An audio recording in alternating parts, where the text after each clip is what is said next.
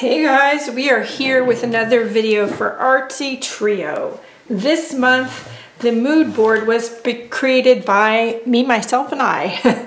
um, so this is this month's mood board. If you'd like a copy of it and um, you want to follow along um, using mood boards and color inspiration in your work once a month, um, join us in the Artsy Trio Facebook group.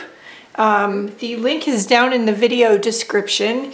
Uh, this is this month's uh, mood board, um, very much inspired by nature, as I almost always am, um, especially right now. I have been doing lots of abstract work, and um, again, we are going to try something that I normally do um, on watercolor paper with watercolor paints. In fact, I'll show you one right here that I did not long ago. And it's a very simple, um, expressive technique. I really love the technique. I'm gonna see if we can do it, big if, with water-soluble crayons. I know not all of you have watercolor paints. Um, theoretically, this should be possible with any water-soluble medium um, as long as you work fairly quickly. With watercolor paints, even if they dry, you can still reactivate them with water. Not all water-soluble mediums are like that. Um, so, especially these Neocolor crayons. So we are going to uh, work with the crayons. If you have water-soluble inks, watercolor paints, of course, gouache. You could do this with gouache paints, although they're not as transparent as the watercolor. They should still work. You might get something very interesting. Um, and again, as I said, I'm usually inspired by nature. So I have taped off a frame on my page. I'm hoping for some clean lines. I usually fail at that tremendously, but we're gonna see. I'm gonna put my mood board over to the side over here and we will later make notes on this side. I am gonna work on the white sheet of paper because I really want the colors to show up and this is watercolor paper. okay, first thing I'm gonna do is make sure I have water and a large brush, which I do. Um, again, we're gonna work fairly quickly. I have picked out some Neocolor crayons that go along with the mood board. I don't have a lot of these anymore because honestly they're not my favorite, but I have ochre, um, spring green, um, Sahara yellow, jade green, orange, and raspberry red. So we are going to, I'm right-handed, so I'm gonna turn this a little bit this way. really quickly, we're not gonna try to draw anything specific. We're gonna just try to go where the feelings or inspiration may take us. You're not trying to draw a solid line, open space is fine. When I do this with water, watercolor paint, I don't even use a traditional paintbrush. I use some kind of a roller or a vegetable peeler or the edge of a credit card or something. Um, these are crayons, so we're gonna use what we have. When we get the water on there, I do have some unusual things like this makeup spoolie, I've got a Q-tip, um, so we're gonna we're gonna play. All right, let's get started, shall we? Because I'm boring myself. Okay, I'm gonna start with this one and I'm going to just and quickly because I don't want these to dry too much.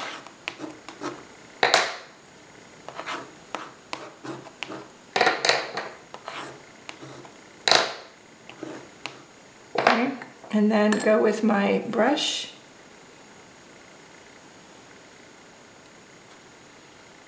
Now again, these probably won't blend and drip the way the watercolor paints were will because they're not watercolor paints there. And see, I already got some, I already got a smudge. You guys, I'm not great at getting clean edges. Here we go. Okay. Now we'll do the top.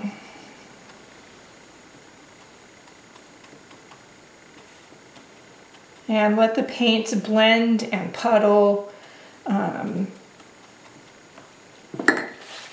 if you get too much water or you feel like you haven't left enough white space, get in there with a paper towel. Have one handy before you get started. You can go back in with one of the colors And you can actually, with the crayons, you can actually dip it in water. I'm trying to create something that gives me an inspiration or feeling of an image or nature. I'm not trying to create a specific item. It's not what I do. I try to stick very abstract these days. This works. It doesn't work like the watercolor, but it works. Okay. I do have a few of these. These are, I think, kind of, I have barely used them. I do have this too. What is this? I have a gelato. I didn't even know I had. It's called Snow Cone. I think I got it free from the vendor at a trade show. What does that do? Hmm. No idea. Let's see. Let's try it.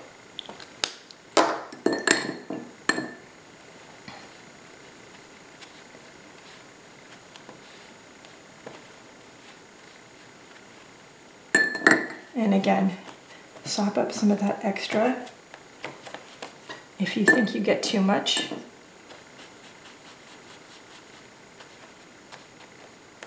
I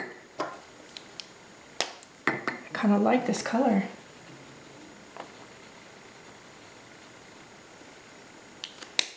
All right, what do I have in here that will work with the mood board. I have an orange, but it might be too orange and a yellow. Let's try them anyways. Uh, these are what these are hard watercolor sticks. These are Daniel Smith. These these are gonna pool and puddle in. They're not the same as regular watercolor paints, but they're closer than the Neocolors. Okay.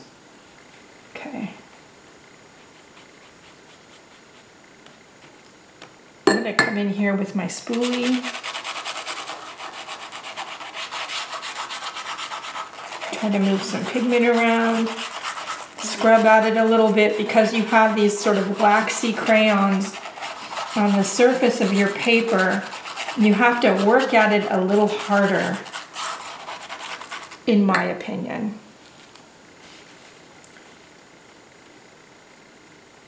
Okay, I think I want some more green on there and I don't think we have enough. Sort of a light green.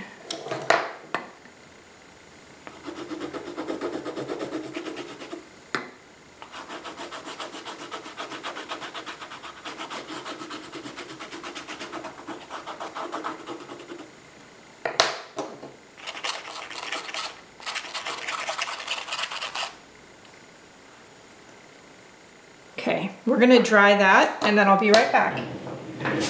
Okay, now I have a smallish paintbrush and I'm gonna go in with some navy blue because I'm just not feeling going in with black. So I'm gonna go in with a dark blue. And this is acrylic gouache, so this is not water not as water soluble as the um, crayons and stuff.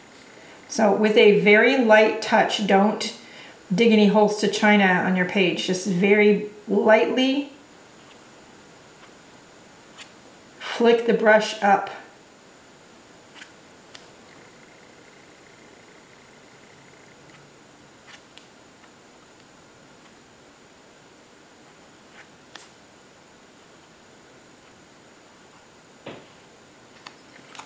Okay.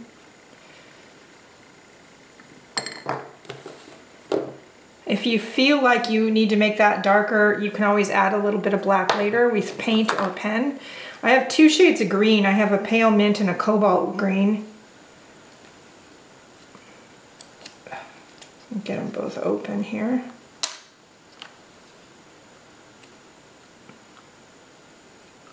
Maybe. Oh, there we go. I'm gonna see if there's actually enough paint in the lids to do what I want. I'm gonna take our little spoolie brush again I'm gonna dip it in the dark green and then in the light green so I have both colors on the end of the spoolie. And again, this is just a, a makeup a makeup thing. You can get these, of course, on Amazon, Dollar Tree. Like you can get them a lot of places.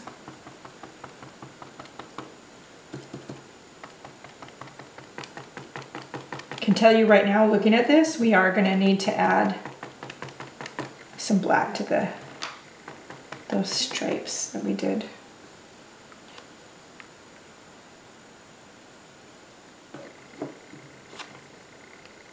Oops. It's a good thing I'm to need a lot of that. Just keep tapping, just keep tapping.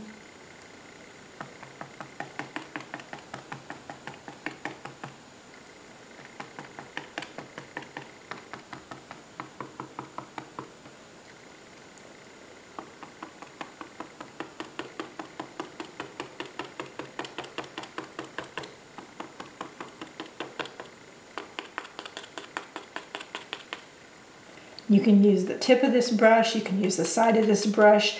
As you can see, and we'll see if we can zoom in right about here, it leaves interesting marks on the page. And one of the things about doing these abstracts that I'm having a lot of joy discovering is using some of these unusual tools and finding out what kind of marks I can make with which tools. I am gonna rinse it off just a little bit.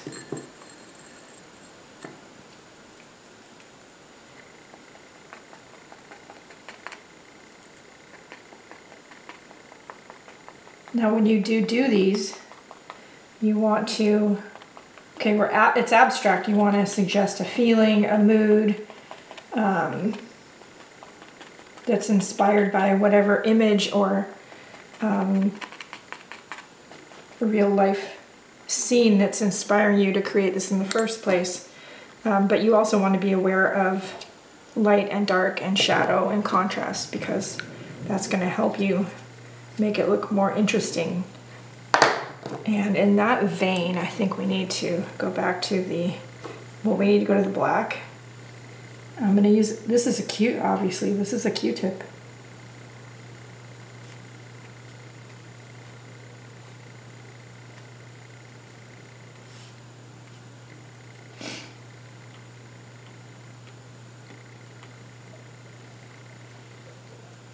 Okay. And then this is the navy blue.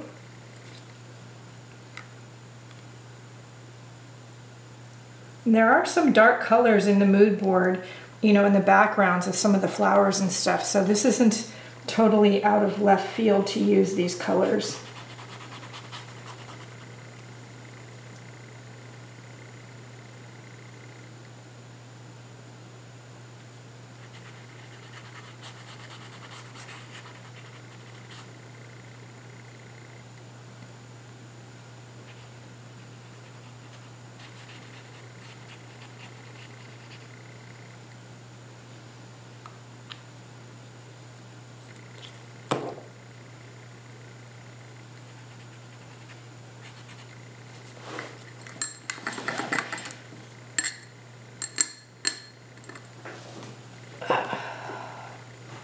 I'm go in with our little brush with just some water. Before that acrylic paint dries, again, if you're using watercolor paint, you don't have to worry about moving so quickly because the paint just will reactivate and it's not a problem. But once the acrylic paint is dry, and even though this is a gouache, this is an acrylic gouache, so once it's dry, that's all she wrote. I don't understand. I didn't start out doing this, but that does look like trees by a pond to me. What about you guys? I, that wasn't what I was shooting for. but yeah. So really simple, really quick, really easy. All right, let's take that tape off. See how well we did with our edges.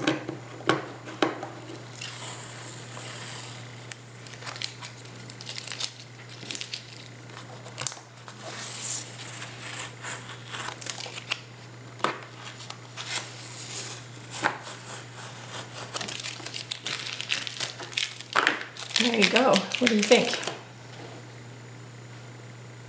I like it. All right, I'm gonna make some notes on the other side and I'll be back.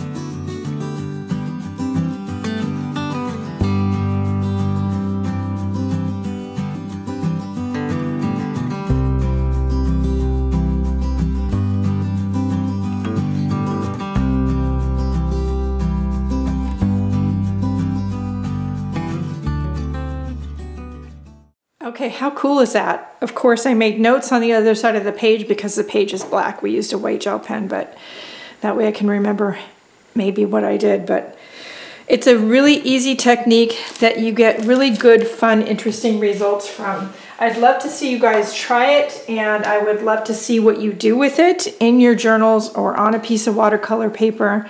Um, yeah, pretty happy with that one. Anyway, go watch my co-teachers videos, Mike Deacon and Bea Grob. Their links are down in the video description. Show them some love, like, share, and subscribe.